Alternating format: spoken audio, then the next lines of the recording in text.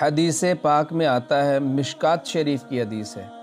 हुजूर सलाम फरमाते हैं कि सूद लेने वालों और सूद देने वालों, सूद के दस्तावेज़ लिखने वालों और उसके गवाहों पर आप सल्लल्लाहु अलैहि वसल्लम ने लानत फरमाई है और फरमाया है, वो सब बराबर के गुनाहगार हैं।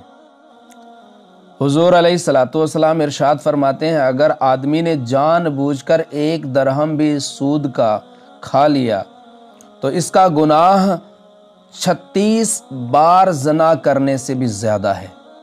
हज़रत अबू हुरैरा रदी अल्लाह तु से रिवायत है कि हुजूर सल्लल्लाहु अलैहि वसल्लम ने इरशाद फरमाया कि सूद का गुनाह ऐसे सत्तर गुनाहों के बराबर है, जिनमें से सबसे कम दर्जे का गुनाह ये कि अपनी मर्द अपनी माँ से जना करे।